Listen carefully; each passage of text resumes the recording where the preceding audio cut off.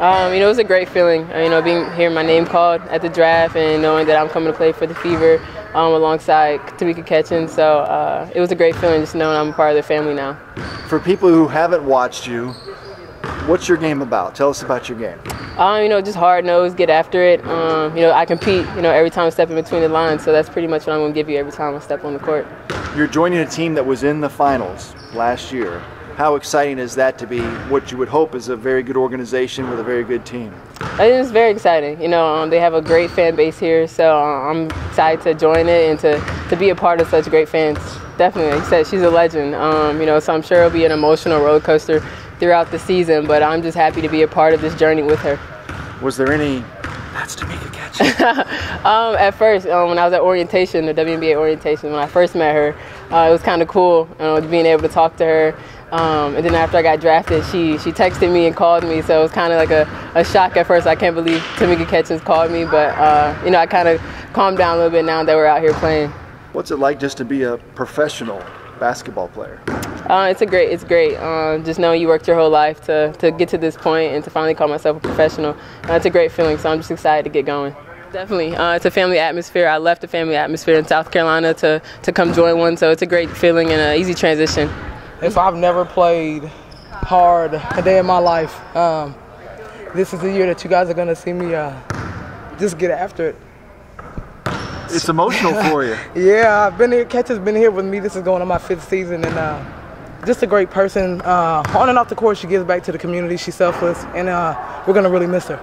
And so you want it to be very special. You want it to be as good as it can possibly be. Very special. Hopefully, Cinderella. You know. Um, I don't know what people expect from us this year. We have new faces.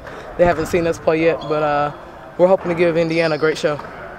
Uh, try not to be as hard on myself. Last year was very disappointing, coming off a knee injury, having knee surgery after the season, and just trying to come back and maintain and um, I guess kind of play where I left off. Hard to come in on a, such a beautiful day and, and, get to work and think the season's that close? No, it was like about time. You know, you have the jitters, but you're also ready to come back, to, to get back in your locker, to look at the same people every day, and to just go after it um, day after day for one another. Um, I put a blog out today on a sports blog, tweakacatching.sportsblog.com. but uh, I put that out there real quick. Um, but yeah, I woke up this morning kind of like laying in bed, like I leaned over to Parnell. I was like, ah, like this is my last first day.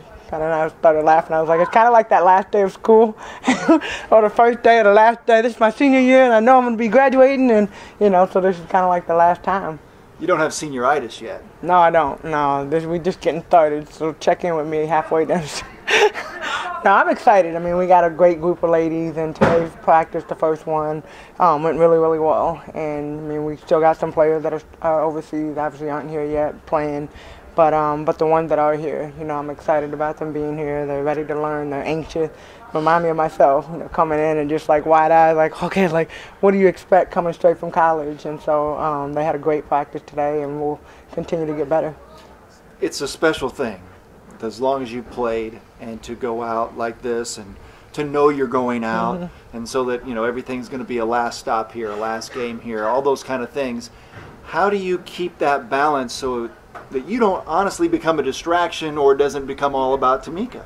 Yeah, um, I think that's really important too. You know, but the biggest thing for me right now is focusing on with this team, building more leaders and having other people step up to the plate and kind of do their thing and lead our team. And so it starts from in practice, start today, you know, day one, Larkin stepping up and talking and Bree kind of putting her hand around everybody and, you know, I mean, down the road, Lay and down the line, like every single person that was here previously kind of stepped up at some point in time during practice. And that's what it starts with.